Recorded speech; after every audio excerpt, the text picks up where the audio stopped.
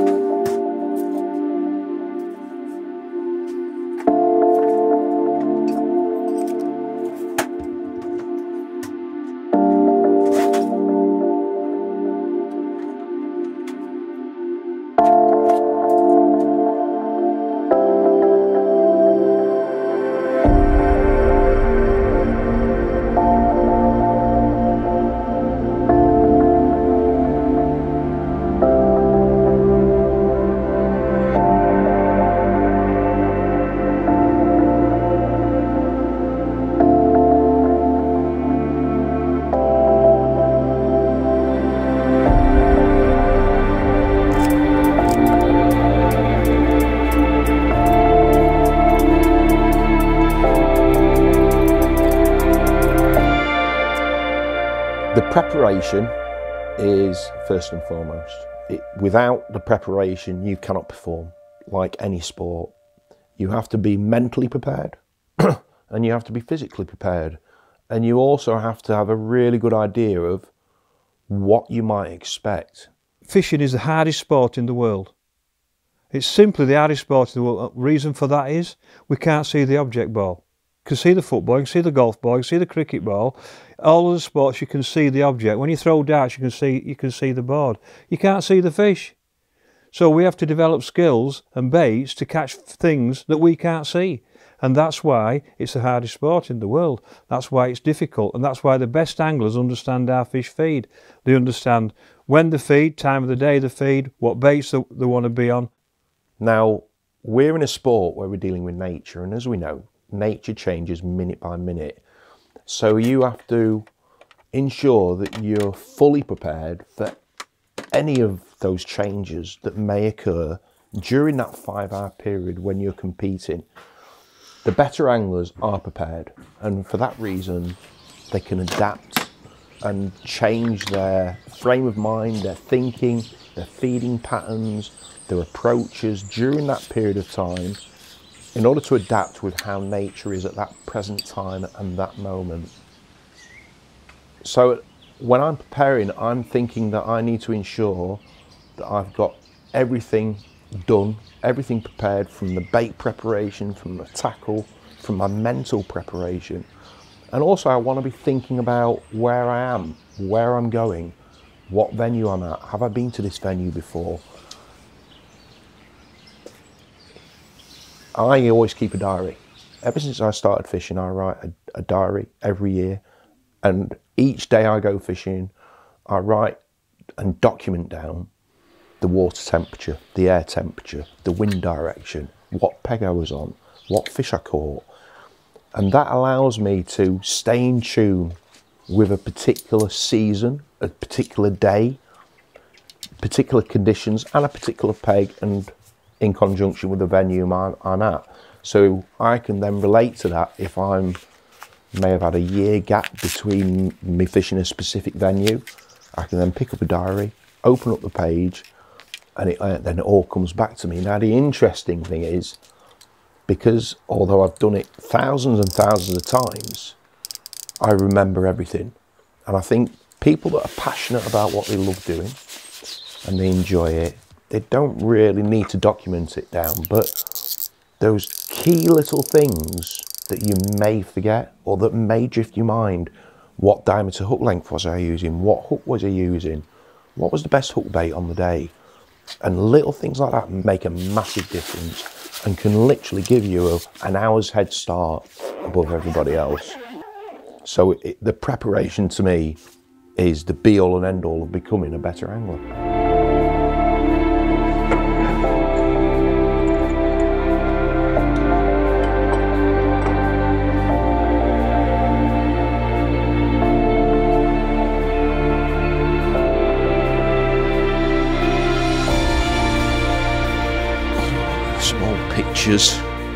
So that's that's I think that was one of my first fish that I ever caught.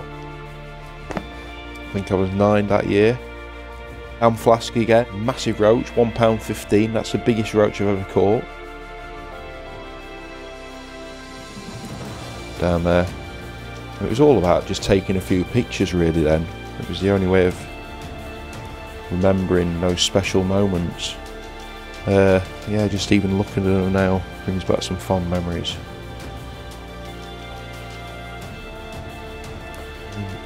Oh yeah, there's a few when we said there's at Dam Flask, one of the first places I ever fished, um, and spent so many years fishing up there on a on a weekly basis.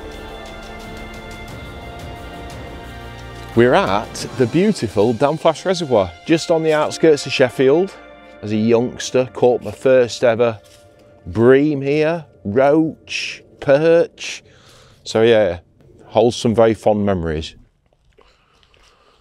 So there was a time used to come up here and uh, there used to be literally loads and loads of people. There's not a single angler on the reservoir today and this is a typical day up at Dam Flask nowadays. Definitely not what it used to be, but to me, I could sit up here on my own all day and still enjoy every minute of it. Very special. In this one. Oh, that like oh, well, on the. No, there's there. Where, now, where are those taking? Those are taking. No, that's at Hallcroft. There you are. Yeah, there you are. I that's that. that's when you went fishing on North Pier at Blackpool. Yeah. That's the, the rods, rods blocking the, the rods face. hard in your face, isn't it? Yeah. This is when we went fishing in Padstow in Cornwall, uh, and you were very keen on this fish, on sea fishing then, and we, you went with me the first day. Uh, there we are, in, in a lovely warm, a lovely summer's day, and there, there with all the fish you caught. Well, hang on, what's, what's in here? Just a minute. Let's see what's here. A lovely one on Dam Flask there. Yeah, it's an old one. And you did win a big open there, didn't you? I did. When I was very, very young. What? 13, I think 13, you, you yeah. won the... Uh, Pennine Championships. The Pennine Championships. Yeah. I can still remember the day now. I had three pound eight ounce. I had a perch and three roach. Uh, and I can't tell you how elated I was fishing against adults that were very good, very good anglers and then all of a sudden this youngster comes along and uh, and cleans up on this day and it's oh so funny. But yeah I think we can all recollect our first match win and I don't think I'll ever forget that day. At such a beautiful place as well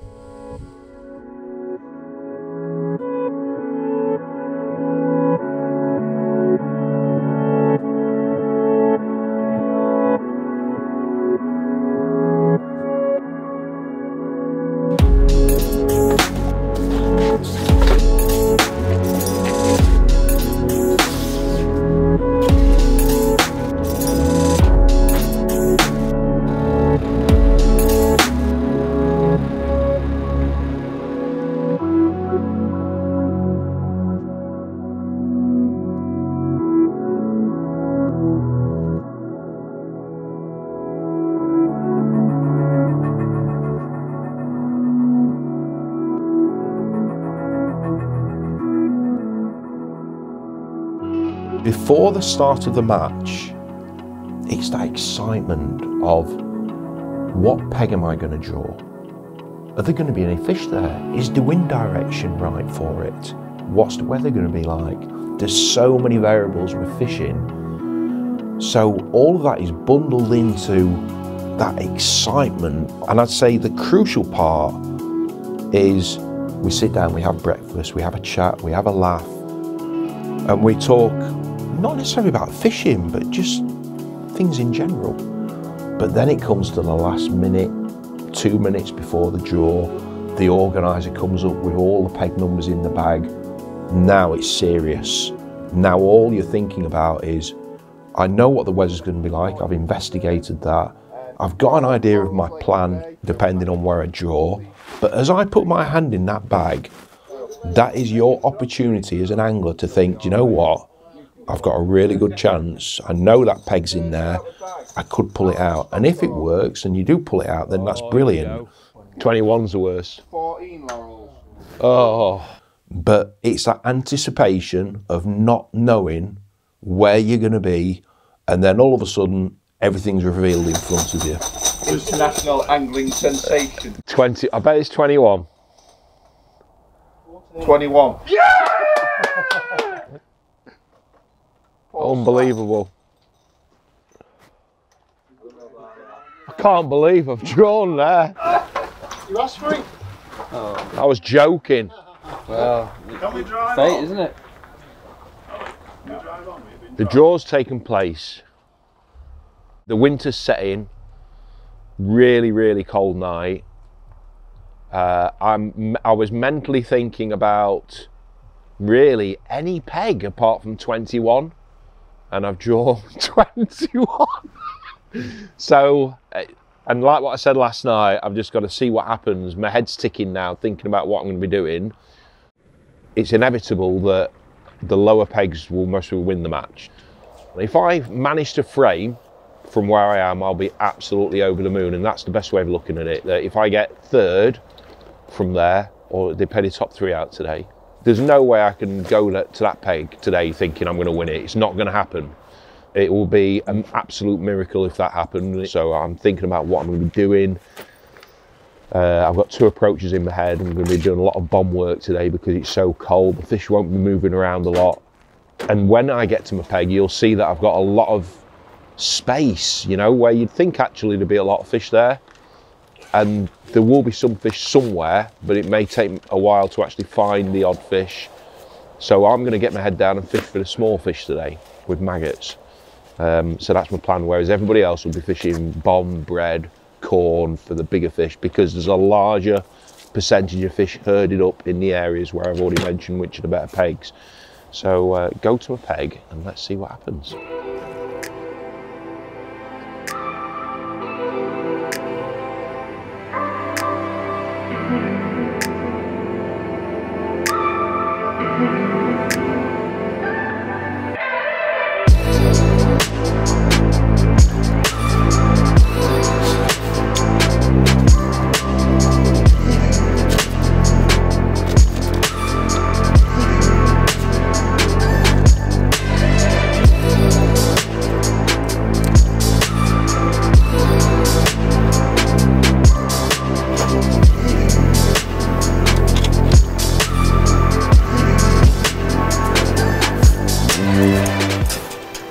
The average match time is five hours. Those vital minutes before the start of the match, before the whistle goes, where you're on that starting line, you're prepared, you're mentally prepared, you've thought about what you're going to be doing, and you have to make the right decisions to do well and perform. And that is why the same names are always at the top of the list. And that's what I always want to try and aspire to. I always want to get the best out of my thoughts, my decisions, and my actions last half hour in this match will be uh, interesting Mm, because I'm not in a good area. That'll be like the, the chance for me to make up for lost time in the start of the match or the middle of the match, really. The fish will be coming into my peg from the right.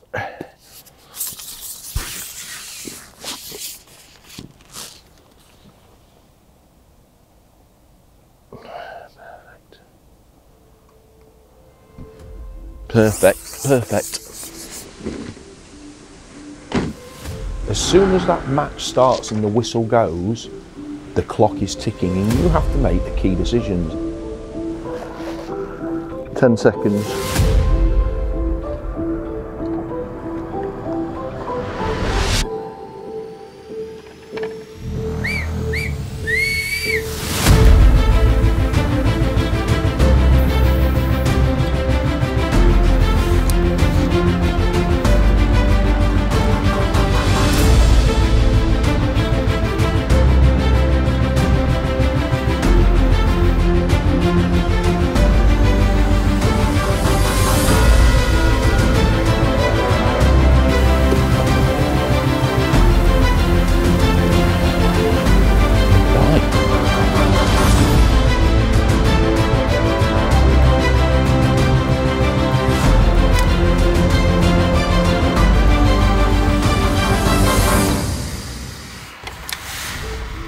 Think it's really important to have an open mind when you're fishing because your decisions on your day might not be the right decisions.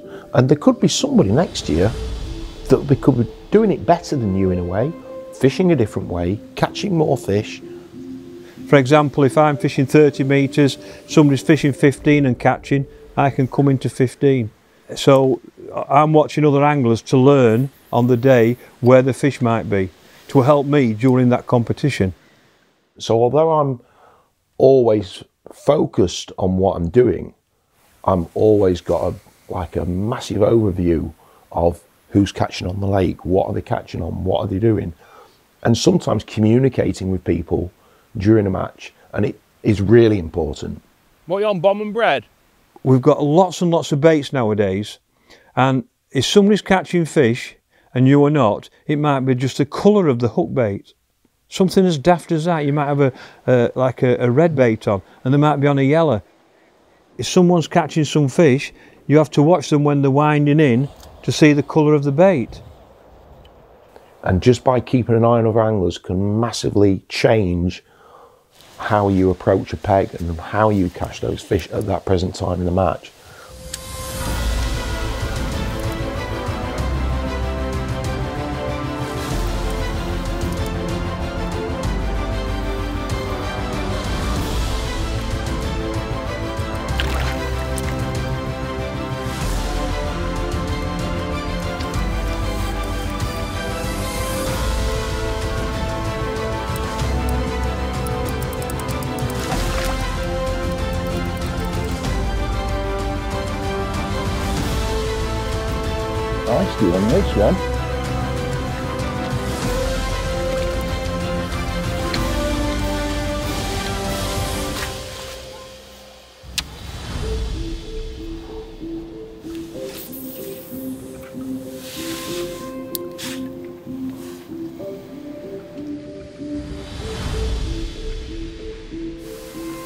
Got to go on pole because I've been feeding it for three hours now.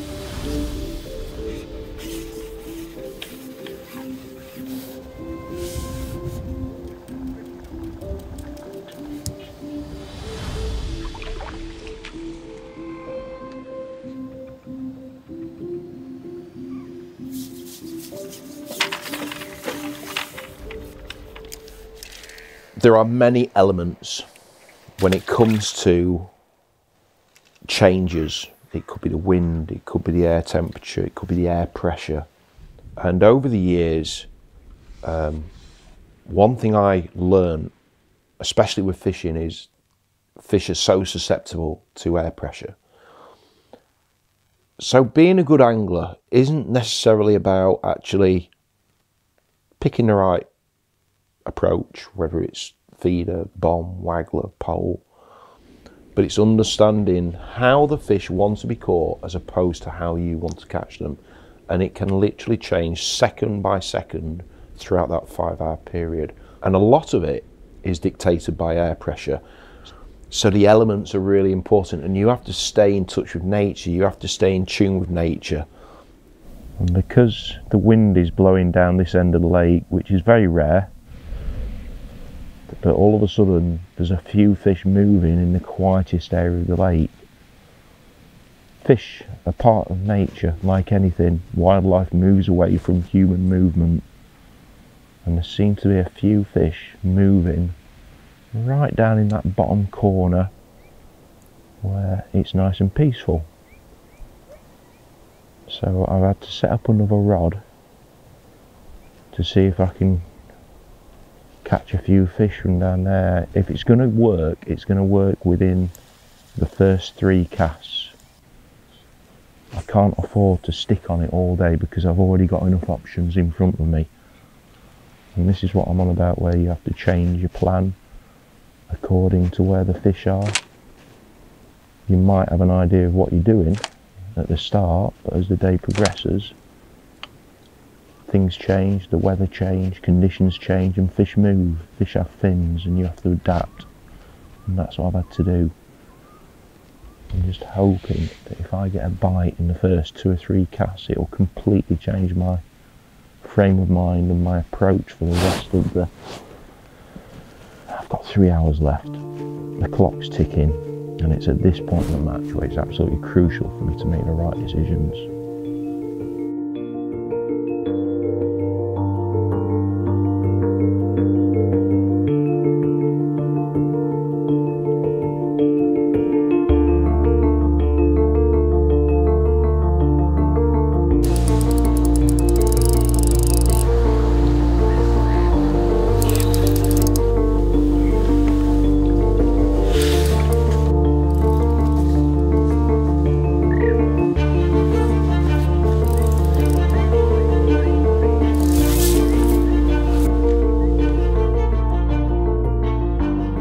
As you get older, you get wiser. I hope I'm a little bit wiser than what I was when I was younger.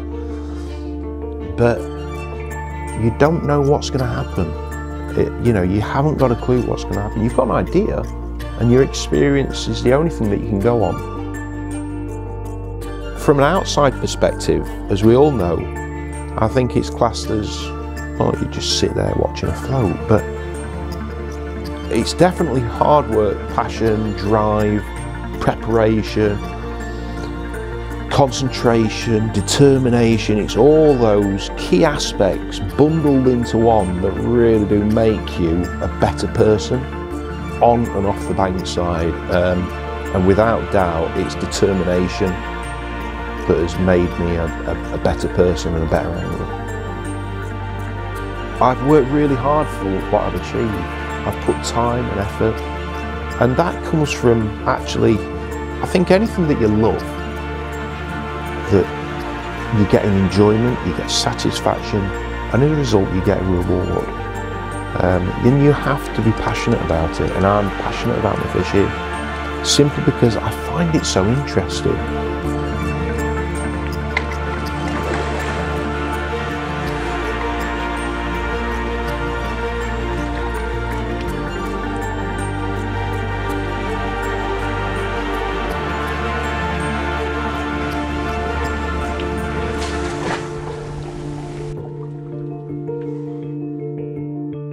You know, I've been lucky enough over the years to turn my hobby into my job.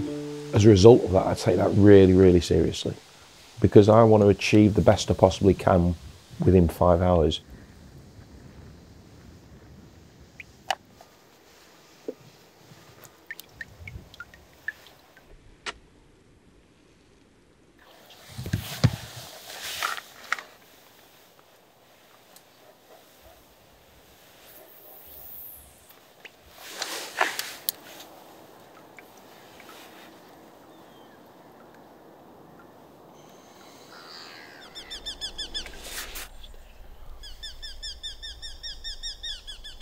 In a way, match fishing is not a race, but it's a marathon.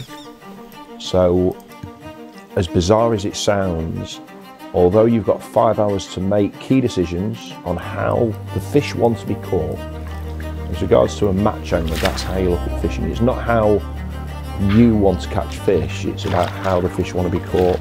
So you have to make the best out of those crucial times in the match. And the last two minutes, I'd say is far more important the first two minutes because it's at the time of the day where the fish are feeding more confidently because you've had five hours or four hours and 58 minutes to build up your peg and get those fish competing. So in the last two minutes, you could catch more than you could catch in the first hour of the match. And when you get that fish, when you sat there for five hours and it goes round or it goes under, in the last few minutes, it's probably one of the biggest satisfactions in fishing. Because one, you've caught a fish, two, it, it might win you money, and three, it usually upsets all the other fishermen. And that's the best feeling.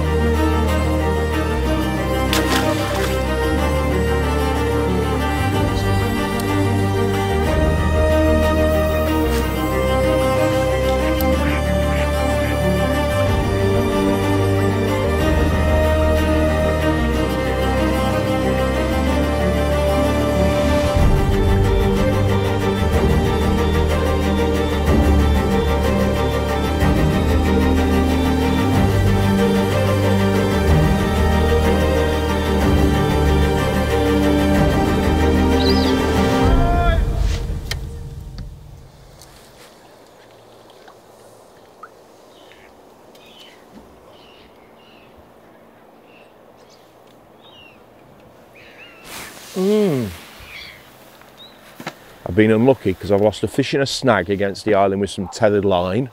Only a small F1, but my crucial fish that I think could cost me winning the match was that big fish that I've snagged down the edge because that was a big carp. And if you get a 10 pound carp in the middle of winter, that's an hour's fishing.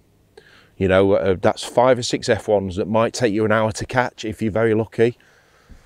That could cost me that today. So I think I've had a really good day. I've enjoyed it. My timing's been right. I've figured out where the fish were really quickly. I'd like to think I've got 70 pound. If I've got 70 pound plus, I'll be really happy with that. So see what happens at the weigh-in. 48.14.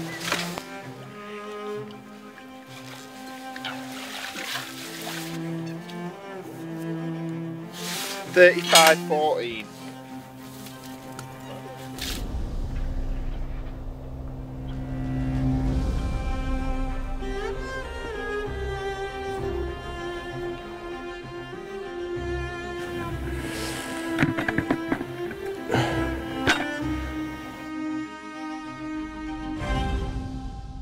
Have I won it? Well done. Thank you. Thank you very much, mate. Cheers for your coaching. Can't believe it.